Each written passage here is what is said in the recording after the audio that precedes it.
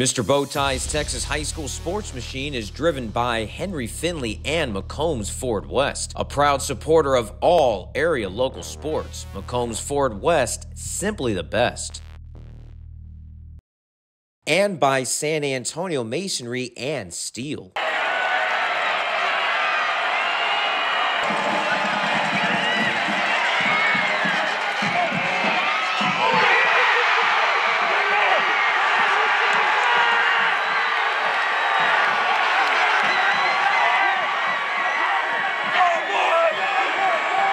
My brother. That's my twin. We have a connection that no that, that nothing can break. I throw it up there, and he's gonna catch it. Payback, really. We just wanted we just wanted to come out and, and pay them back from what they did to us last year, and that's what we did.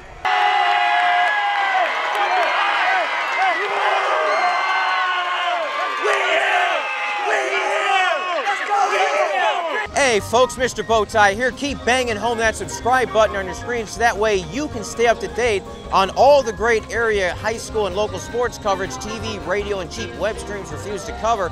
And check out my Twitter at Mr. Bowtie 1982. It's fast, it's free, and the UIL will love you if you do it. Thanks so much and enjoy the show.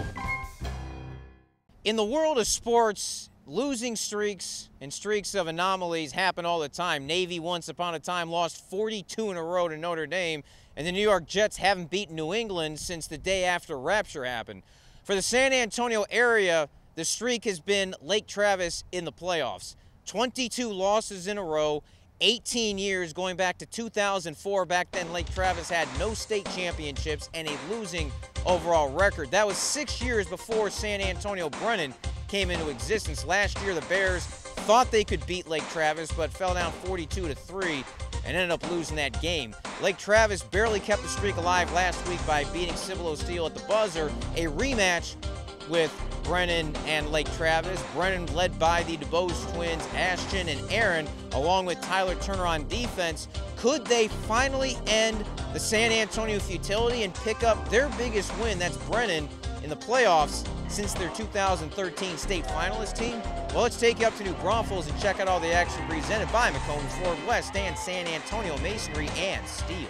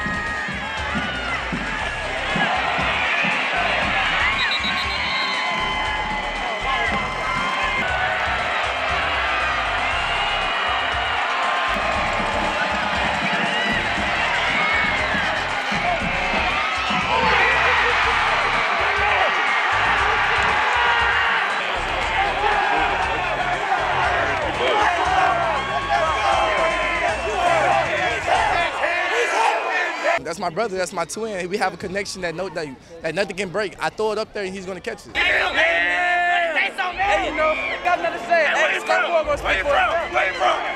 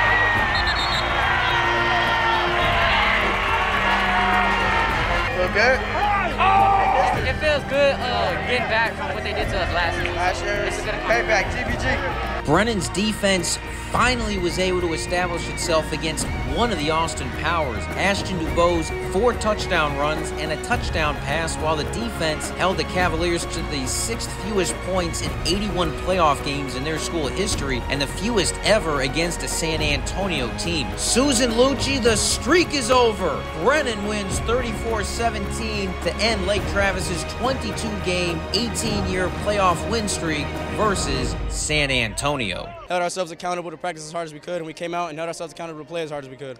We watched film like a like like some dogs all week. You know, we just wanted to make sure we had our game plan down and make sure we went out and executed it today. We came out and just held ourselves to the highest standard possible to come out and execute our game plan that we studied all week so hard for. Uh, I mean, it's just a great feeling. halftime and we we we uh, drew up drew up drew up stuff on offense and the defense got right with the uh, the defense and we just came out and just did our thing. Payback really. We just wanted we just wanted to come out and, and pay them back from what they did to us last year and that's what we did. learning from Steele, learning from that game last year, I think really helped us for this year to really come in prepared, uh, you know, to play our tails off and, and do everything we could to win the game, and, and that's what we did tonight. So super proud of the kids. Brennan, though, can't breathe a sigh of relief. Next up is Austin Westlake in the quarterfinals. They haven't lost this decade. They blocked two punts and returned both for scores against San Benito in the third round. Third playoff meeting between the two, Westlake has won both in blowouts. By the way, should Brennan pull the upset, they would join 2012 A&M Consolidated as the only schools ever to beat Westlake and Lake Travis football in the same season. Reporting from New Braunfels, I am the streaker, Mr. Bowtie.